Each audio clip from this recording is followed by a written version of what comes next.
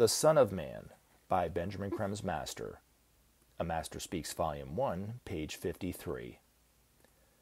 Many people await the return of the Christ with trepidation and fear. They sense that his appearance will promote great changes in all departments of life. His values, they rightly assume, will necessarily alter their ways of thinking and living, and they blanch at such a prospect. Besides, so mystical has been the view of the Christ presented down the centuries by the churches that many fear his judgment and omnipotent power. They await him as God, come to punish the wicked and reward the faithful. It is sadly to be regretted that such a distorted vision of the Christ should so have permeated human consciousness. No such being exists.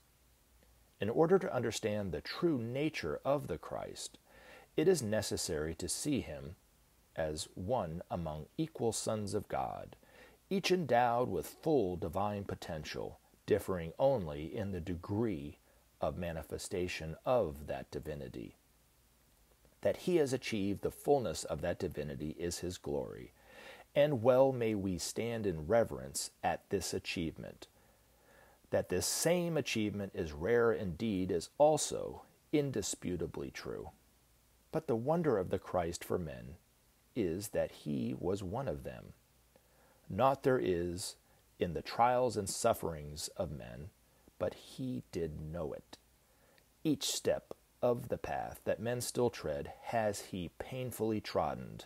Nothing is there in the whole panorama of human experience that he has not shared. Thus truly is he the Son of Man. There can be little doubt that were he to appear unannounced in our midst, few would recognize him. So far from the general notion is he that he would pass unnoticed in the crowd. Thus it is today among his brothers, as he awaits man's invitation to begin his mission. Many who see him daily know him not. Others recognize him, but are afraid to speak. Still others wait and pray, hopeful that he may be the one for whom they dare not hope. Only his declaration before the world will establish him in the sight and hearts of men. While we await that day of days, let us clarify in our minds the reason for his return. Let us understand the nature of the task which he has set himself to establish in our midst the fact of God has he come. To recreate the divine mysteries is he here.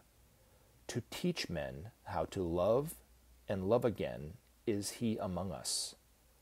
To establish man's brotherhood does he walk the earth once more. To keep faith with the Father and with man does he accept this burden.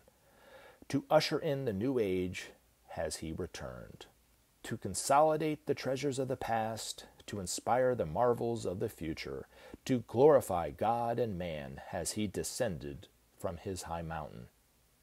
Let us look at his priorities the establishment of peace, the inauguration of the system of sharing, the removal of guilt and fear, the cleansing of the hearts and minds of men, the education of mankind in the laws of life and love an introduction to the mysteries, the beautification of our cities, the removal of barriers to travel and interchange of peoples, the creation of a pool of knowledge accessible to all.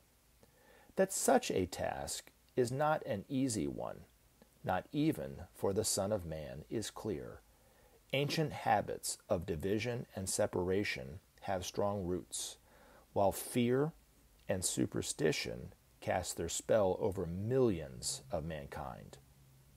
But never before in the history of the world has a teacher come better equipped for his task. Maitreya has come to do battle with ignorance and fear, division and want. His weapons are spiritual understanding, knowledge and love. His shining armor is truth itself.